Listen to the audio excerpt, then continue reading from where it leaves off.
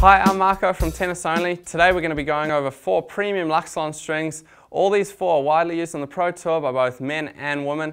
First up, we've got Luxilon AluPower. This one's a great power orientated string. You get plenty of control with this one as well. At the same time, it doesn't compromise any comfort. A lot of players use this as a half set or as a full set. It's a great one to try. Next up is the AluPower Rough. Similar string, got a little bit of texture to it. So it's going to eat eat at the ball, going to get a lot of bite, a lot of spin with this one. A lot of players like this one just for that fact that it provides a little bit more bite on their shots. Again, they use it in half set or in a full set. Elements, a new addition to the line uh, for Luxilon. It's a softer string, so it's going to play slightly more plush, pockets the ball a little bit better, um, but at the same time, very comfortable string, great control with this one. Last up, we have 4G. It's one of the stiffer options in the Luxilon line, so it's a little bit firm, um, great tension maintenance, which is a good thing if you're planning to have the string in there for a long time.